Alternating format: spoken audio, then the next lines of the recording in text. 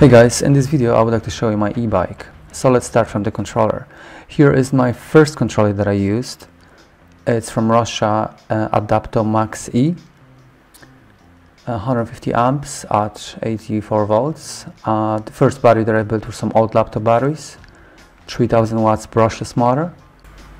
I decided to get TRP Zurich brakes for e-bike with 203 millimeter discs.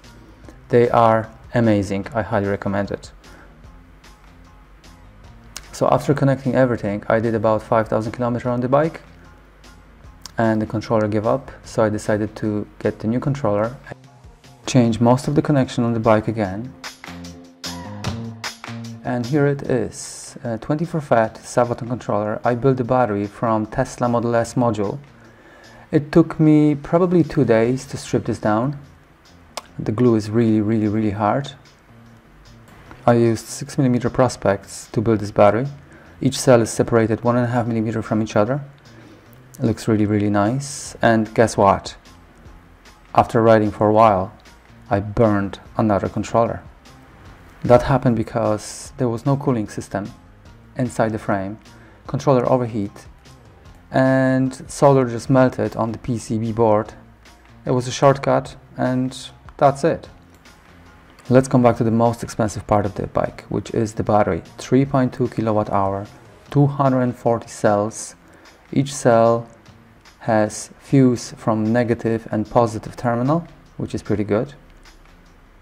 And here I put two small fans, so because of the cells are separated one and a half millimeter from each other, the air is blowing through both of modules, so that's great for cooling. BMS has Bluetooth, so everything is connected to the phone. You can change all the settings on the battery, which is like minimum voltage cutoff, maximum voltage cutoff, temperatures and all that. Also, the controller has application too, so you can change all the settings like current, power, torque, maximum speed, ATC, ATC.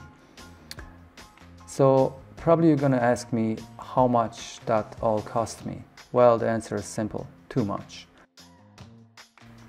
This bike is giving me so much fun, it's great to ride that it's absolutely priceless.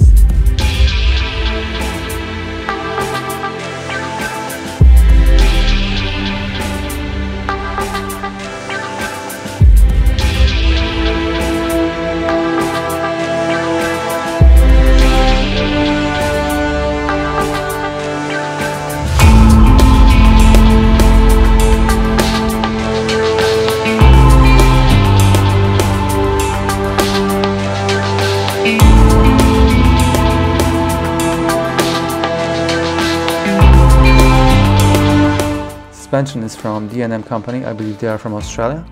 220 rear, 200 millimeter front, preload, rebound, everything is adjustable, great piece of equipment. I put also radiators on the engine that helps cooling down the magnets because the engine is going really hot if you're riding hard and it just becomes less efficient then.